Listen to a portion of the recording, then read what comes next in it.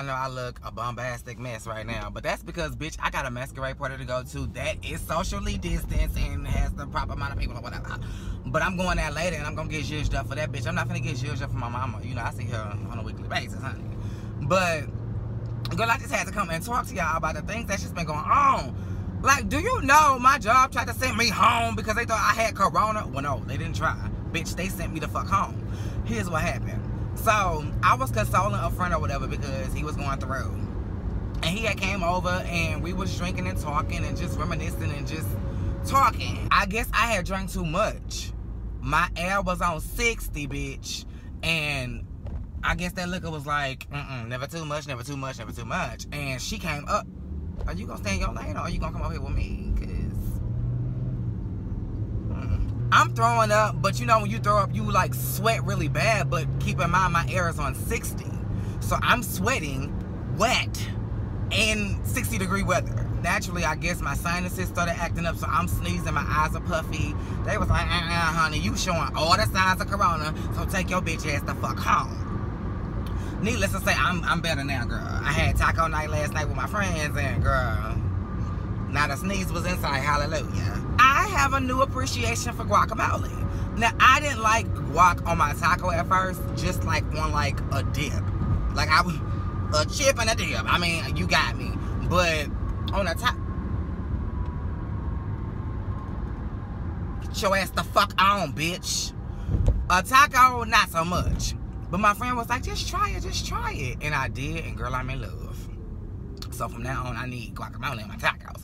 And that green sauce, y'all, don't judge me. I do have a Colombian heritage, but I have never put the green sauce on my tacos. So I don't know what it be giving when y'all go up for the green sauce. I, I, I don't know. I don't know.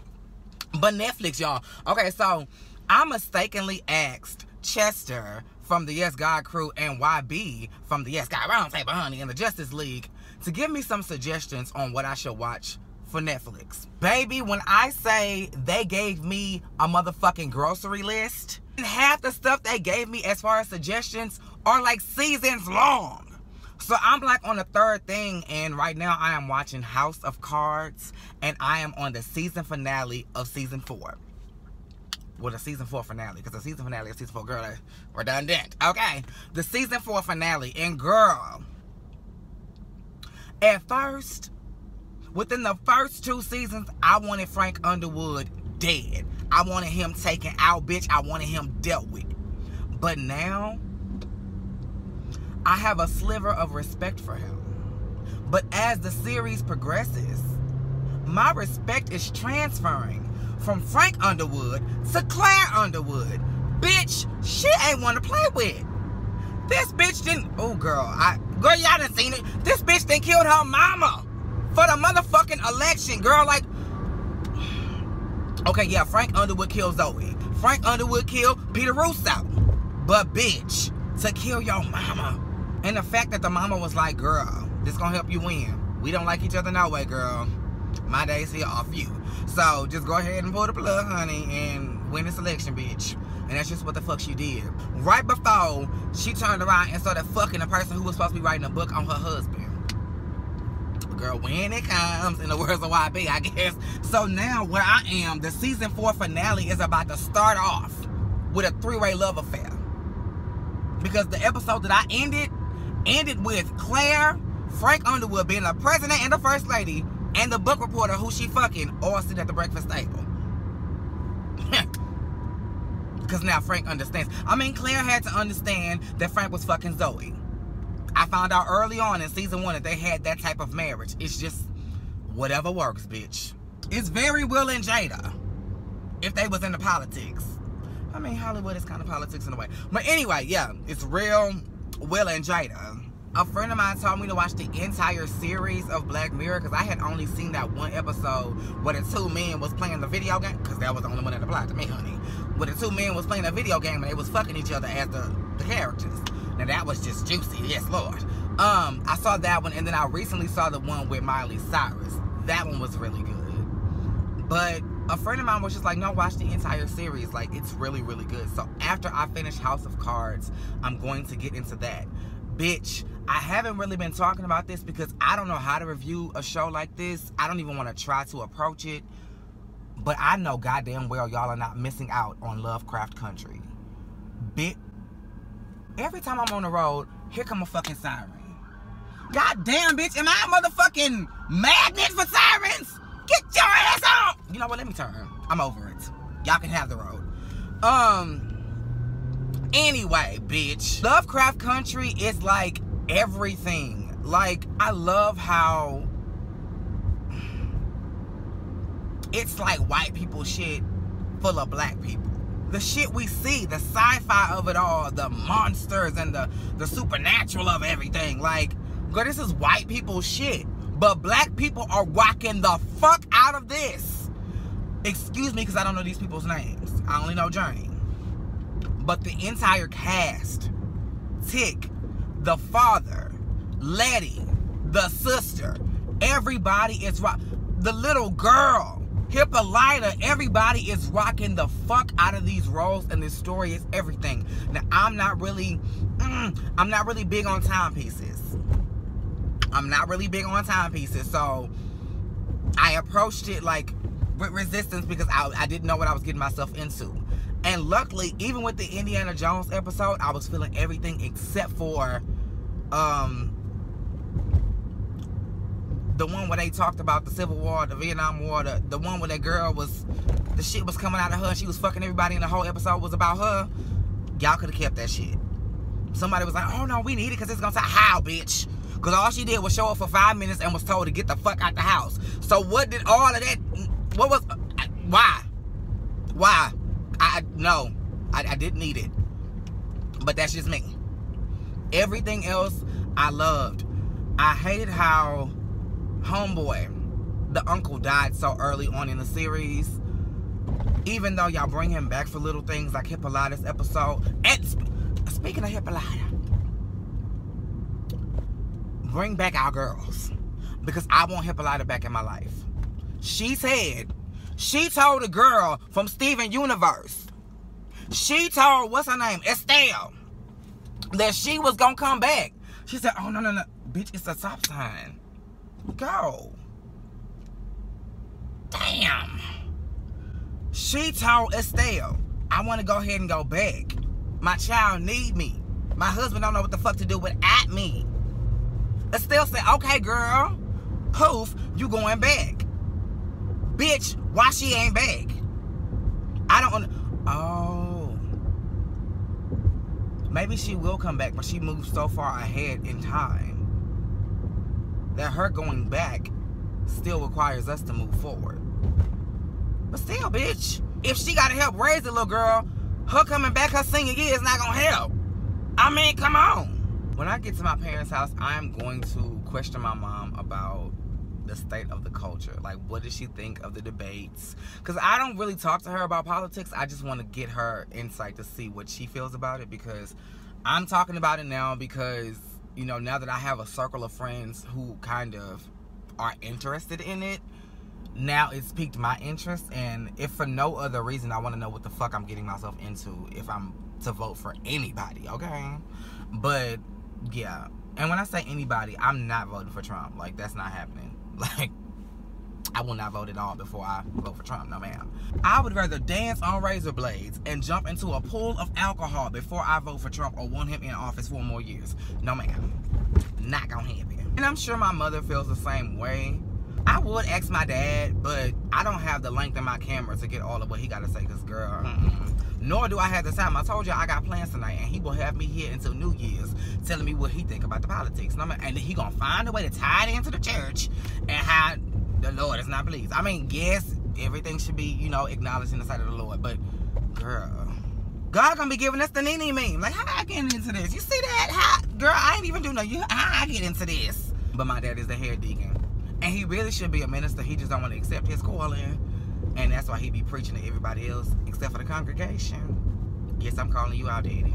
I'm to hold the camera to my daddy and be like, hey, you know you didn't accept your calling and you need to be a minister. And why she to be like, I preach every day in the streets. I preach everywhere I go. that's his political answer. You know, I was sitting here thinking about House of Cards, and I forgot to mention one key person in this motherfucking shit. Nobody told me that Neve Campbell, Sidney Prescott from my favorite horror series, Scream, was up in this bitch. And girl, Sidney Prescott who? When I'm in trouble, I want Leanne, bitch. Neve Campbell, you did your thing, girl. Like, oh, like, I, I, uh, usually when I see people in one role or one type of role, like to see them in something else, it doesn't really do it for me. But Neve Campbell, you did your motherfucking thing in this. Just like Kate Mara. You did your thing too. You were, um, what's her name? Zoe. You were Zoe. And the first time I had seen you was in Pose. So to see you in this reporter role in like a totally different aspect, and I'm like, girl, you better show some versatility, mama. Yes. And kudos to you too, Neve Campbell, because you, again, you did your thing. Everybody in this bitch, just like in Lovecraft Country, everybody in this bitch is doing their goddamn thing. I cannot wait to get through season five and six so I can move on to something else, honey. But my friends who I let know that I'm watching this are telling me that I'm really, really on to something. And I know I shouldn't be doing this, y'all, because I already have a list that's days long. But if y'all have any suggestions of what y'all think I should add to my Netflix list to watch, then just drop it below in the comments and I will add it to the list. I will try to get to everybody's suggestion. If it's a movie, I'll more than likely watch it first because, you know, the shows I have to invest more time in. But yeah. Drop me your links and let me know what y'all think I should watch. We are. I like. I want to know where you think we are politically and what. Um. Thank you. Um. What did you think of the debates? I didn't look at them. Of course you didn't. So what? what do you think of where we are? I, well, I think my personal opinion that it's a mess. However, I think the debates didn't do nothing but confuse people Hmm. because it you didn't really get an answer, and that's what it's all about. You are fighting for your answer, but it was a whole lot of animosity. The little piece I did see on each one of them, a whole, whole lot of animosity and hold back and all of this because it's everything now is if you say this, they take it and blow it up and, and all of this. So it's it. We really didn't need to have them because nobody got. You shouldn't have got a clear answer either way. Right. Neither neither candidate won either way. Yeah, they were playing politics. Yeah, yeah. So I mean, really bad. It's always involving politics, but that was ridiculous. Yeah.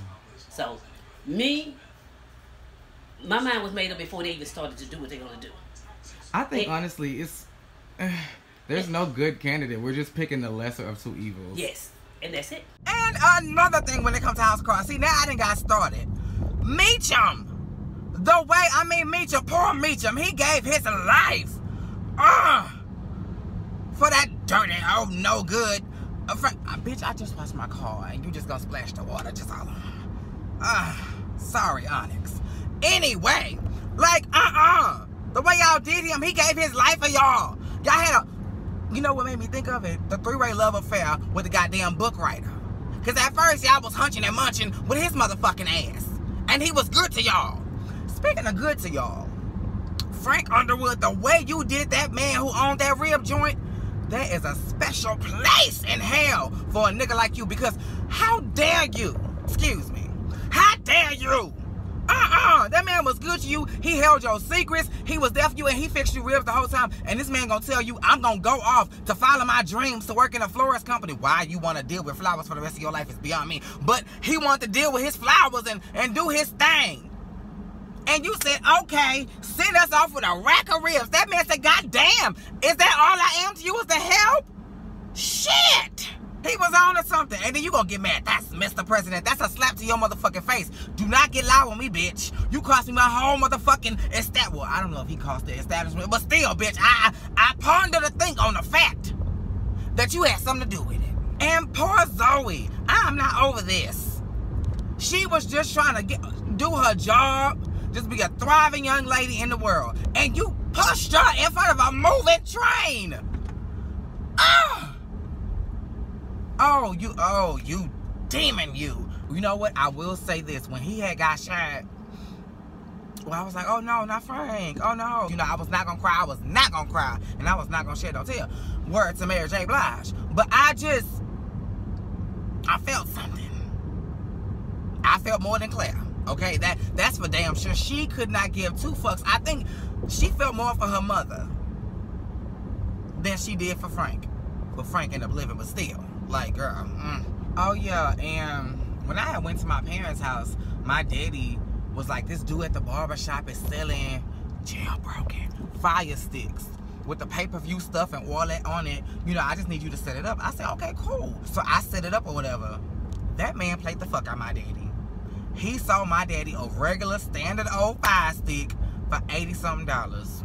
Whole thing. I had to jailbreak it myself. Now I can't do I didn't say that.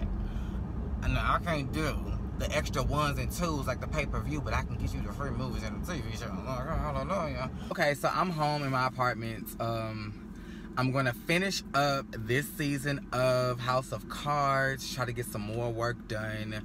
The party starts at 7. I will do my best to be on time. It is 2.41 right now, so I got time.